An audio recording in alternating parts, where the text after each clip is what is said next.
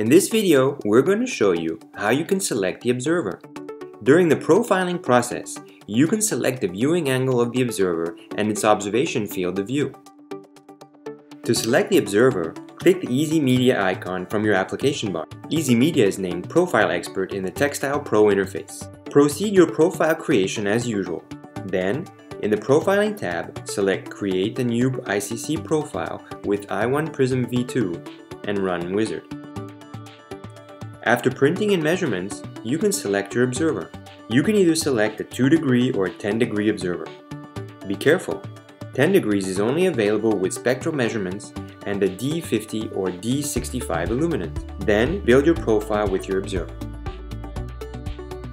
For any help with our software, be sure to visit our Caldera Desk Knowledge Center.